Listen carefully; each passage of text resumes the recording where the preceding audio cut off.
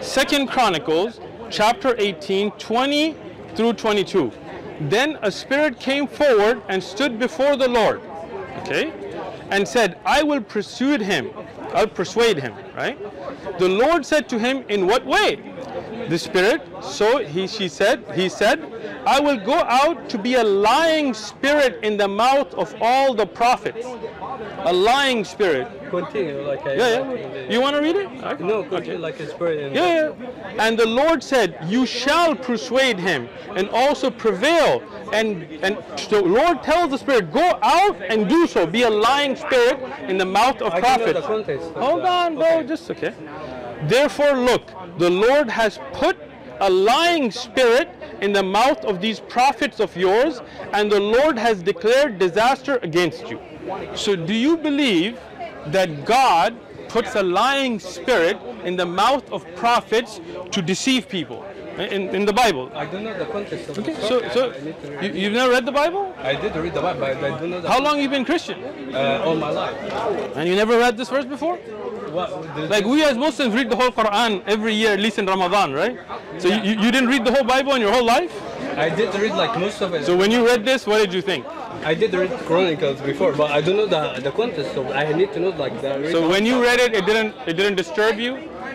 I need to read the whole uh, Okay. chapter. Like. So you want to go home and read it, or what do you want to do? No, like you want to take a I- I picture? can't, I can't give you a picture. You have like in the Quran like يهدي من يشاء ويضل من هدي من يشاء، صحيح. So, so like it's the same. Like you can, No, it's not. Allah doesn't put a lying spirit in the mouths of prophets. That is not the same. It Okay? is. It Like, is when not you the look at same. this, like يهدي, like Okay. he Let me guides whoever. let me let me And he explain. misguides. So your God like misguides people. You asked a question, I got you, bro. We study the Quran. I have read these ayat. I have taught the tafsir of these ayat. So unlike you, we are we are familiar with our book. Don't worry. يهدي من يشاء ما هو سبب الهداية? I don't know. You don't know, right? Whoever has a niyyah, إنما الأعمال بالنيات. So if you want guidance, Allah will guide you. If you are, are somebody who doesn't want to be guided, you want to defend your dalala no matter what, you want to defend your falsehood, then Allah will not guide you. But Allah does not put a lying spirit in the mouths of anbiya, of prophets, to misguide people through the mouths of prophets. Yeah, when they say like, God like you. Did, did you understand the explanation I gave you already? Okay. Uh, then, okay. from the, hadith, I don't, I don't know like. Innamal abana niyat, you don't know the hadith? الأعمال بالنيات like. إنما الأ- You're from Egypt. Yeah, I know. I know. Arabic. You you know Arabic. In Egypt in school you never heard the hadith إنما الأعمال I بالنيات. did hear it. Yeah. So then I did tell you from hadith. Yes, but. You're asking me to tell you from hadith and I told you from hadith. I'm talking about the, the inspiration of the verse itself. It's like يهدي من يشاء طيب. ويضل من يشاء.